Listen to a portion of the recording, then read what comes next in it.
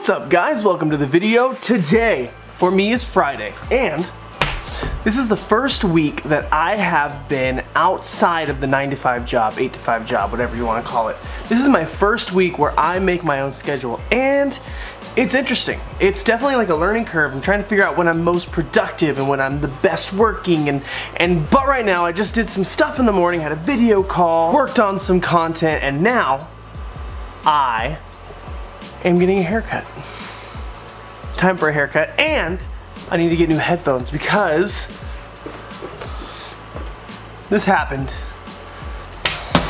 Now I still have my AirPods and I like them a lot, but for editing they're not the best because you want to make sure that you have something that um, plugs in over your ears, cancels out any distractions. And those worked great. Those were Beats 2 and they last forever.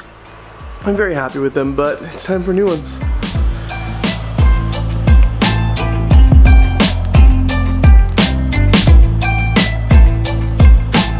Still not over the fact this is mine. That's crazy. Okay, so the haircut is done. I'm so happy with it. The headphones are done, and I'm not happy with it. Gosh, they're so expensive. So I ended up getting um, the Sony ones.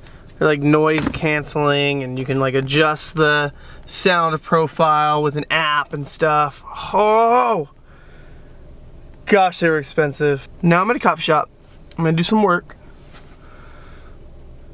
Try to like swallow the price tag. oh, I worked out this morning.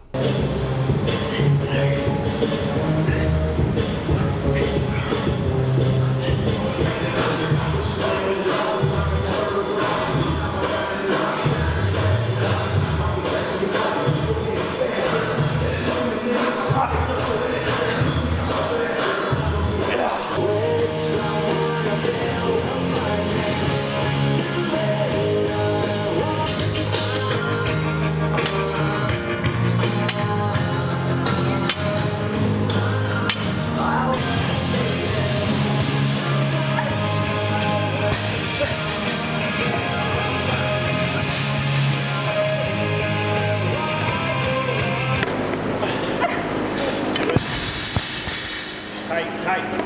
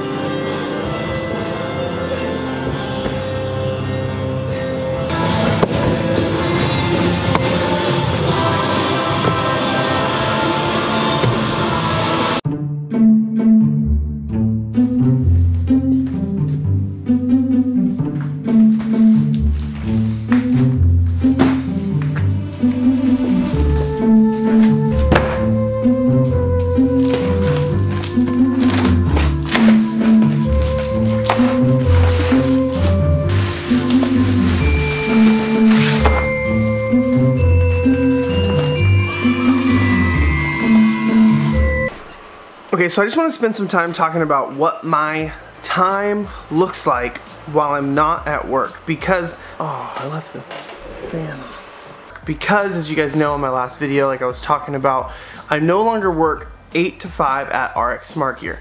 I am in more of a client freelance based role.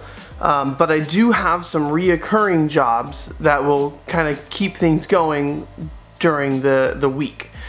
The first one is an exciting one. It's, it's a, I work 10 hours ish a week doing social media production for a company called Video Influencers. They are a YouTube channel that helps YouTube channels grow. Their like slogan is they want to help you increase your influence, income, and impact using online video. I make little micro content videos for them for Instagram, Facebook, Twitter.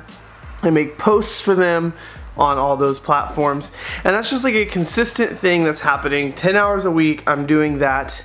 It can be whenever I want, wherever I want. I can be at a coffee shop. I can be at 6 a.m. in the morning. It can be wherever. Um, another thing is I still do freelance work for RX Smart Gear.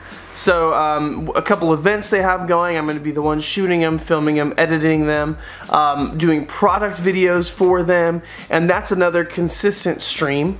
And then last but not least, I'm going to be putting a lot more time into my YouTube channel.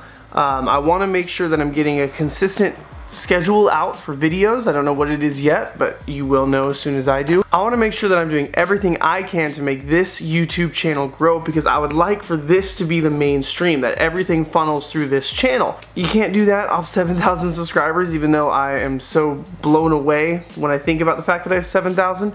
Um, but that is going to be a big, you know, put an effort is that it's not going to have a lot of return right now. But the goal is that as I continue to grow that, as I continue to develop that, that YouTube can kind of be the main source and less you know outside video projects etc etc so that's kind of what I'm doing. That's what my time is looking like. I actually had a really busy week this week um, even though I didn't go to work because I was constantly trying to set things up doing work putting stuff out.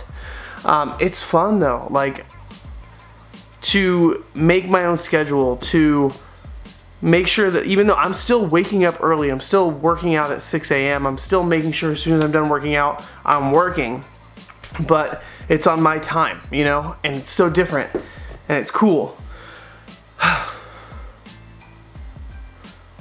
it's cool.